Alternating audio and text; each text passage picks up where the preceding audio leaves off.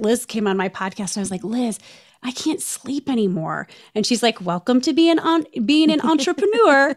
it's like there's this sense of responsibility that you have that you want to steward this. You know, those feelings of am I crazy? Am I still am I supposed to be doing this? But like it's continually pressing into the fear.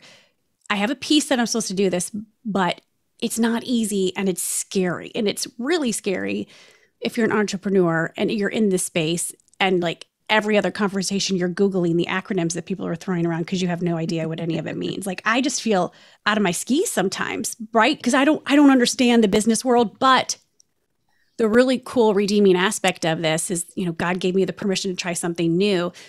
What a, I, i'm good at asking questions. I like to champion people. I like to challenge people. My nickname was paula 20 questions so i've just always been inherently curious.